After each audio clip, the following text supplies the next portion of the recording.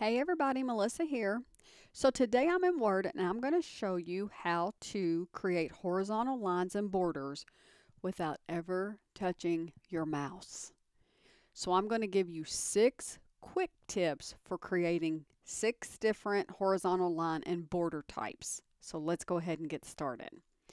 Let's say that you want to enter a broken line to separate whatever you're typing.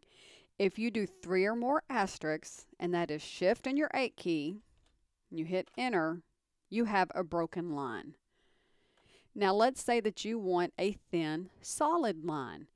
If you do three or more hyphens and hit enter, there's your thin solid line. Let's say that you want a double thin solid line. If you do three or more equal signs and hit enter, there's your double thin solid lines. Now let's say that you want a thicker line. If you do three or more underscores and hit enter, it gives you a thick line. Now if you want a thin line at the top, thick in the middle, and a thin line at the bottom, if you do three or more hashtags or pound sign, which is shift and your three key, and hit enter. There's your thin, thick, thin.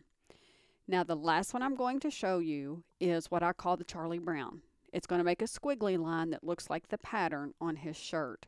And what we're going to do is three or more tildes. And if you've got your top numbers, your 1 through 9 and 0, to the left of your 1, if you do shift and do that three times, you get your Charlie Brown. And that is six different lines that you can create while you're typing a document and never have to touch your mouse. If you found this video helpful, please give it a thumbs up. If you want to see more content like this, please subscribe to my channel before you go. If you have any suggestions for future tutorials, please put them in the comments. And I'll be back tomorrow with another tutorial. Until then, thanks so much for watching.